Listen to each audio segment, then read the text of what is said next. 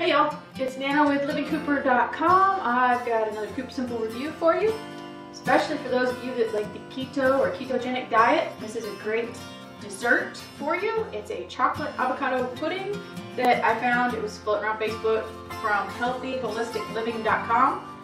I like chocolate and I like avocado, so I thought I'd whip this together real quick. All right, so y'all follow along, see how I got to the pudding. Keep watching.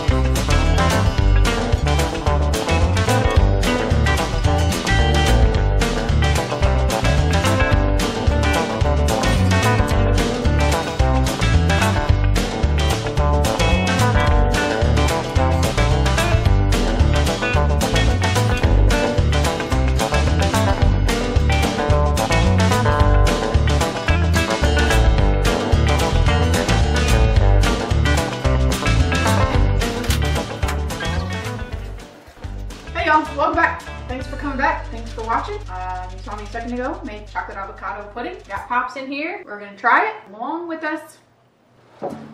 Got some ginger shot to wash it down with. Bit creamy consistency. Not too bad. Needs a little bit more sugar. The good news is you can take more avocado than cacao. Well, I was gonna say, I the work with cacao. Pretty good. Especially for anybody that's on a ketogenic or a or uh, diabetic. It's be perfect for one of them. They don't wanna watch me eat the whole thing. All right, y'all. Thanks for watching. This was the chocolate avocado keto-friendly pudding. It was really good.